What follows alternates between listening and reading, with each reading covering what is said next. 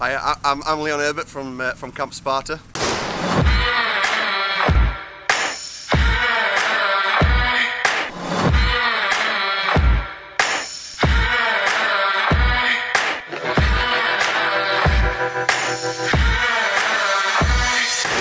Camp Sparta originates from uh, about about five years ago from the Stan. Uh, the owner of, uh, of Camp Sparta used to used to own the Stan before Skirmish took it over. Um, we then got another site TAC Spartan. Uh, that's a site that's still running now, CQB site, uh, rated the third best CQB site in the uh, in the UK uh, by Airsoft International magazine. Um, and now we have we have Camp Sparta, which is hopefully going to be the biggest and best uh, CQB site in uh, in the country. I think we had to take on the site due to the size of it, due to the nostalgia behind it. It's it's like Disneyland for airsofters. Uh, you play on an RAF base. It's massive. You've got 500 rooms, 31 acres.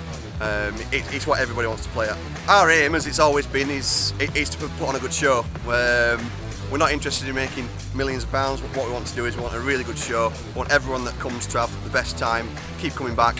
Um, and if they keep coming back, we can improve on the site, we can put more in for them um, and make it something really special. Well, we hope the players can expect something different, something they don't normally get at any other airsoft site.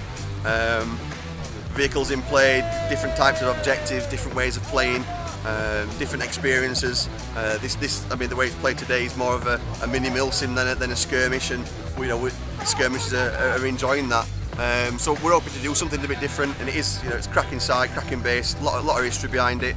Uh, which I hope everyone really, really enjoys it. Uh, at the present, yeah, we are using um, the canister grenades from TLSFX. Um, they're a low decibel grenade that goes with more of a flash than anything else. Uh, this is currently just because of the uh, the issues that we have with regarding getting planning. We want to make sure the neighbours are happy. Um, so what we're going to do is start off small, and then we'll look at once we get our planning through, and we can we know what we can use. We'll then start looking at things like 209s, Mark 4s, Mark 5s. Uh, but yeah, we, we, are aiming to make sure that, the pyrotechnics are widely available to be used on site. Unfortunately, we have only got this site for three years.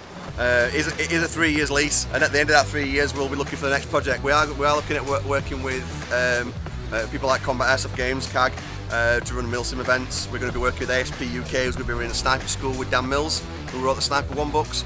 We have the Zombie Uprising events uh, that are run uh, by, by Ryan.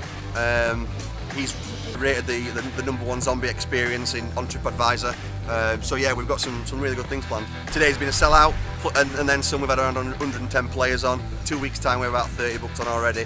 So we'll, we'll, we'll gauge it by, by the first few events.